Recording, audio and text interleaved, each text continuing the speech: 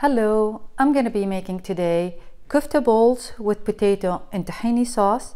I serve it next to rice and I'm gonna make it as a stew on top of the stove, not as a tray as the traditional way we make it in the oven. And uh, I find this easier, uh, much faster recipe to cook and still taste as good as the one in the oven. Let's see how I make it.